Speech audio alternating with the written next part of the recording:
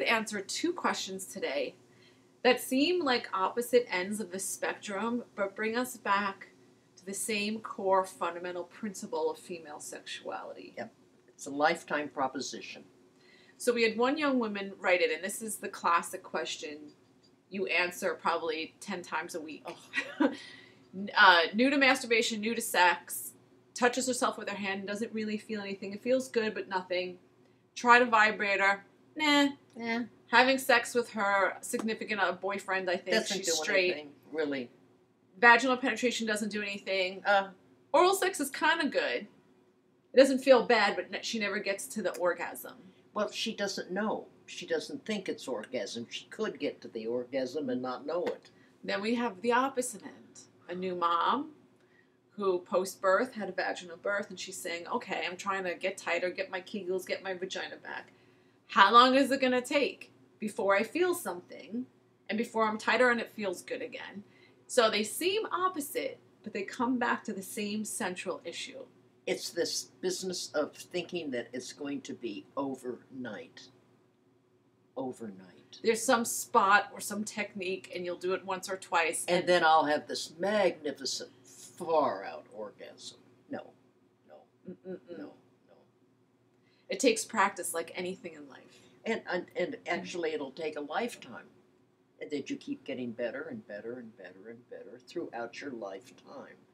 Now, this one woman wanted to know how to do the kegels, how, you know, what length of time between, you know, you know, uh, squeeze, squeeze, squeeze, and then relax, squeeze, squeeze. Just, it, there isn't any set number or time or I didn't do any of that post birth because post birth I had the, the chronically tight vagina. I had the opposite problem, you had to but still the same thing. I had to practice and I had to practice penetration. And I did it every day for 15 minutes. I would lube up, do the whole uh, tightening and releasing to do the penetration like you do with your how to use the barbell. And then I would get it in and I would enjoy some good feelings, put the vibrator on my clitoris, sometimes orgasm, sometimes not. I did it every day. After six months, it started to feel good, and it took a full year before I was back to my sexual self. So Multiple is- orgasms, Yeah. no pain, no feeling, just like back to me. back to who you are. Now, so this woman who wants to know what the length of time in between and how do you do it, just you have your instincts. How do you feel?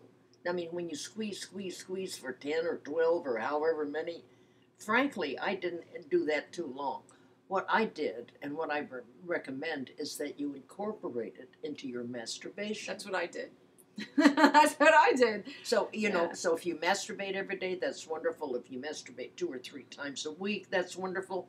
But when you're masturbating, you're then using that muscle. You squeeze it and then you release it. You squeeze it and you release it. And the interval, I mean, don't make it so technical. It's It's not a workout where you're like, do 50 reps. just listen to your body. And you're going to go from pain to discomfort to no feeling to pleasure. And the same thing for the young girl who's trying to get her vagina online. Right? I'm trying to get online again. It was already online. Now get up. You're gonna. It, you're not gonna just touch yourself and immediately feel pleasure. No, it doesn't happen overnight. Nothing happens overnight. I mean, I mean, how did you learn to dance? How did you learn to draw? How did you learn to cook? How did you learn any of these things? And first time penetration can feel uncomfortable. It's a new sensation. It could feel even painful if you're not relaxed. Or lubed up. So you're going to have to go from pain to discomfort to nothing to pleasure. So I think she's in that nothing realm saying, I feel nothing, keep on going. Keep going. And it's going to be So- six months, at least six months to a year. And like you said, a lifetime. It's, yeah, it's like the dancer working out at the bar. It's the artist drawing from the model. It's a, you know, it's the woman exercising to keep her muscles. Come on. How long did it take you when you, because you started writing mid career in your 40s, how long did it take you before you were really good that you could just write and you didn't sit there and like struggle? Well, actually, it took several years. Anything in life, within a year, I was better. you were proficient. proficient. But Yeah. I mean, finally, it was just now when I sit down to write, I just talk with my with my fingers. You don't think about it. No, I don't think about it exactly. But not in the beginning. It was like you know, oh, it's a, you have to make that too many words. That that they're you're doing this, you're doing wrong. Make the sentences uh, long ones and short ones, and give your. Uh, And if you go on dodsonandross.com to uh, Betty's rock and roll orgasm technique, you can Google it. It's under sex features.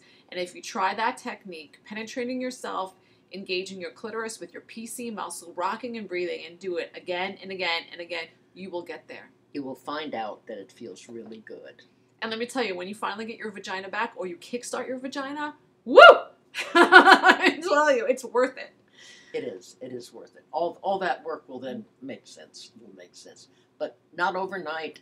And it's like anything in life, you have to practice and practice and practice. So it's not this add hot water and mix.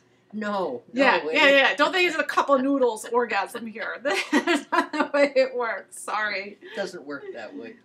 So be patient and keep doing it and enjoy the practice. It's fun. Think of it as fun. And it's a fun excuse.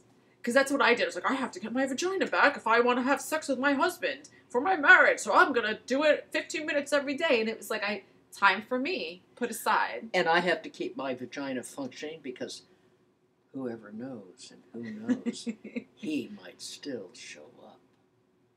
or she might show up with a strap on. I, I think that's what's I you. So, Merry Clitmas. Oh, happy holidays. Enjoy Yes. the holidays, and we'll see you Happy- after the new year. Happy holidays. Bye.